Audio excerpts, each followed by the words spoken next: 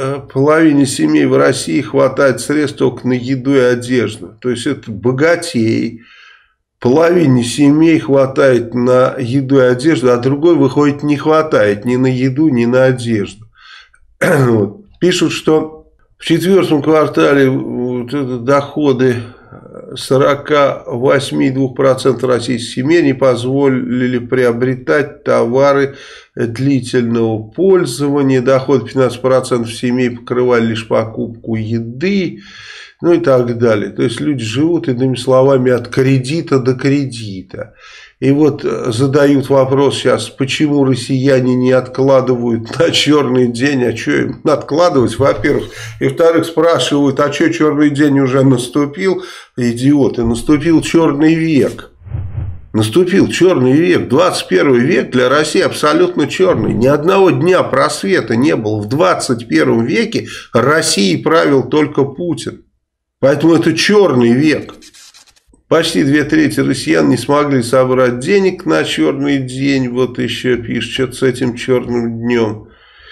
Ну, правильно, если у них официально зарплаты 20% рабочих россиян, то есть каждого пятого, зарплаты каждого пятого не доходит до 15 тысяч рублей. Можете себе представить, это работающие люди получают меньше 200 евро. Просто охереть не встать. Вот здесь где-нибудь рассказать, слышь, сказать, ты хочешь работу, мы тебе будем 200 евро платить. Посмотришь, скажешь, что с ума сошел, дурак что ли. 73% россиян одобрили идею получать деньги просто так. Ну, естественно. Я думаю, что гораздо больше бы одобрило, если бы им объяснили, как этот механизм работает. Да? что они имеют право на долю в национальных богатствах, что сейчас немедленно они имеют право на долю того, что мы конфискуем у всей этой мрази.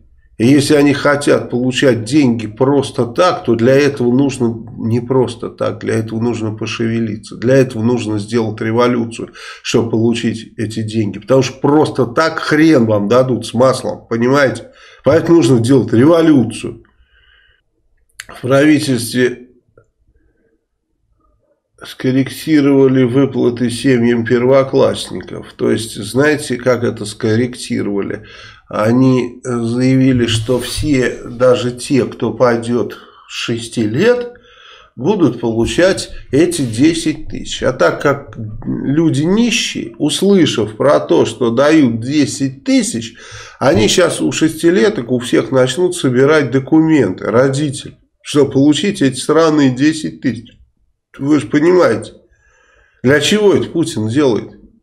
Понятно, для чего? Для того, чтобы э, ну, было видно, вернее, не было видно, какое, как, какое реальное количество детей.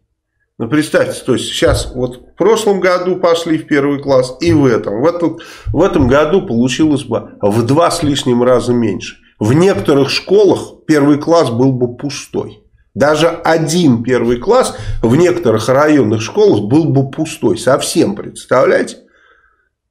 А здесь они пытаются таким образом еще подтянуть шестилеток, чтобы какая-то заполняемость была, какая-то видимость была.